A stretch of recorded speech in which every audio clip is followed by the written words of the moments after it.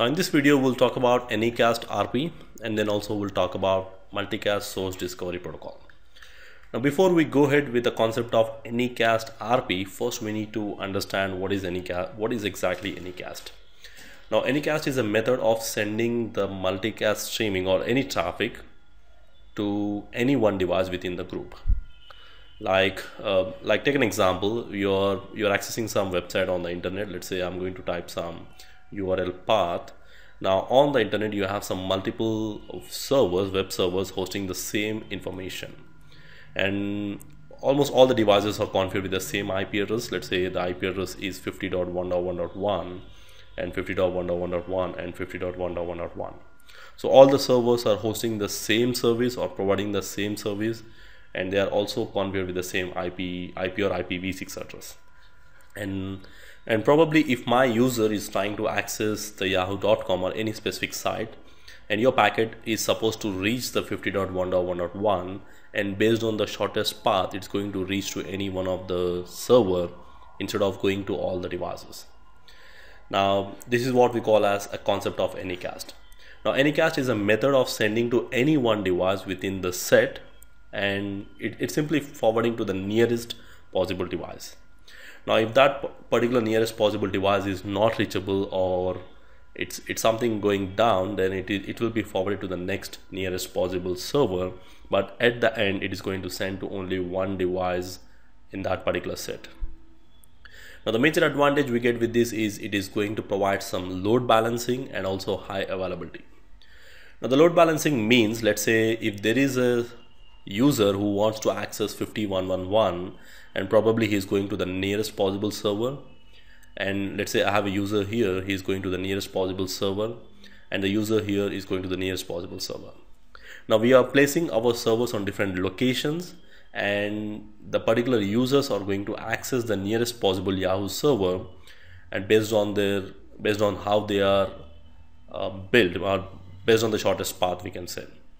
Now it's going to provide some kind of load balancing and also if that particular nearest possible server goes down, the traffic is going to be forwarded to the next nearest possible server.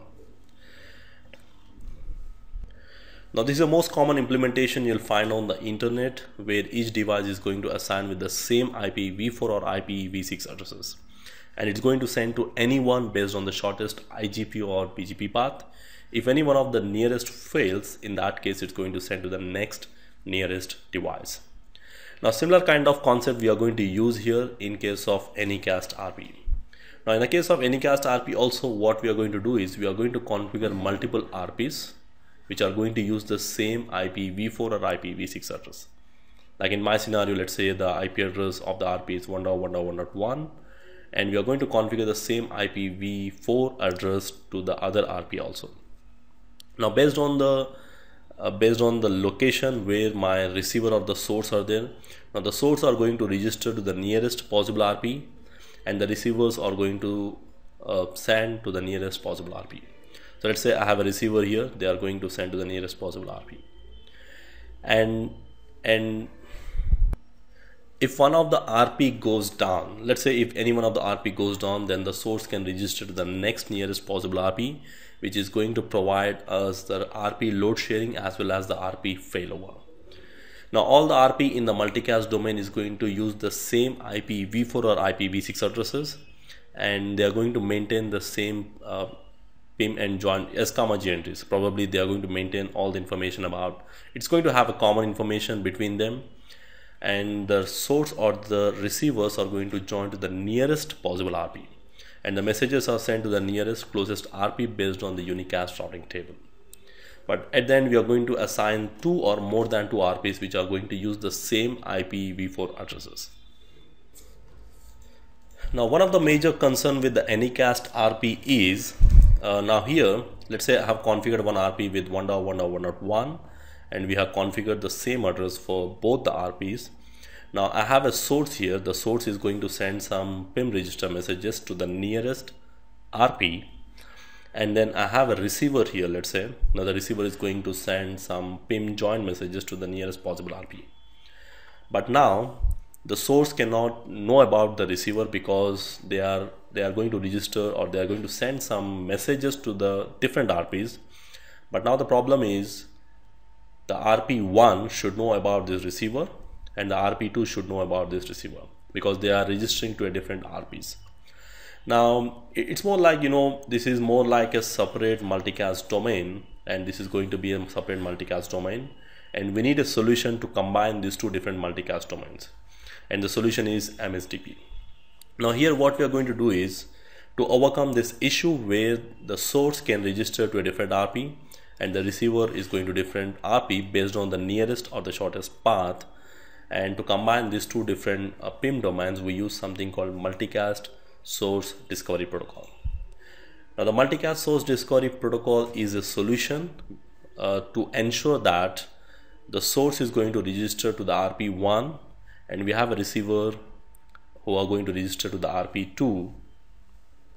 MSDP is going to provide a solution where it is going to send this S, G entries to the next RP by using something called MSDP source active messages.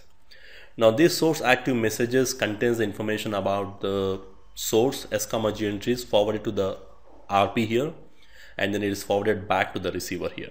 Now then the receiver is going to build the shortest path to reach the to reach the source based on that information provided by both the RPs here. Now the concept is very simple here. If you have a source registering to RP1, it's going to build some S G entries and the same information will be forwarded to the next RP so that the RP2 also knows about that source S G entries.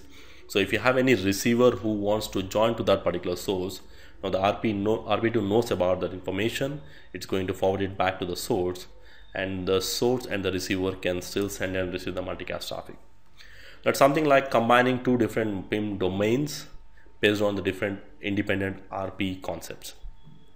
Now initially this concept was developed to have inter-AS multicast where you have two different uh, inter-AS like different AS probably running autonomous system 100, autonomous system 200 based on the BGP and we are exchanging the multicast traffic between two different autonomous system numbers based on the based on the uh, BGP implementations. But here we are not going to use something called inter-AS we are still using intra-AS multicasting. Now all the routers are going to run a common IGP protocol, but the only difference is if you have a very big network, instead of running a common RP or a backup RP, we are going to run different RPs in different domains. Now the main thing is both the RPs are going to use the same IPv4 addresses. So the source or the receivers are going to register themselves to the nearest possible RP and then once they register the RP information is propagated back to the next RP so that the receivers on the other end of the RP should learn about the source.